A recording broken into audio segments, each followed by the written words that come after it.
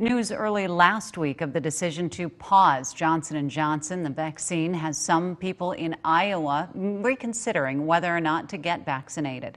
Since the announcement, the state has seen a decline in numbers willing to get a shot. ABC 6 News reporter Brett Backley explains.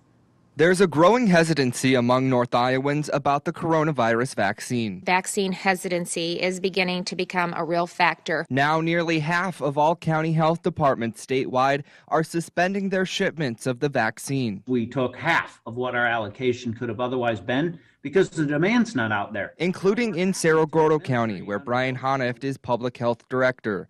He says he doesn't have enough arms willing to take the shot and doesn't want to jeopardize any future allotments. We don't want to take 800 doses and only administer 500 of those doses because we don't hit an 80% uh, allocation um, expectation. This week, 43 counties have declined some or all of their vaccine allocation for next week so that supply doesn't exist, um, exceed the current demand. The state of Iowa sending Lieutenant Governor Adam Gregg to Sioux City, where a majority of these counties are clustered. On Friday, Gregg getting his vaccine while hosting a clinic in hopes his appearance will convince more Iowans to get vaccinated. It's going to take probably months. But one issue still remains as demand drops vaccine waste. It's not good news to be wasting doses in north central Iowa, southern Minnesota, uh, when you have those doses could go in arms in underdeveloped countries. So we have to make the best use of our doses as possible. Hanft plans to speak with the state on this topic.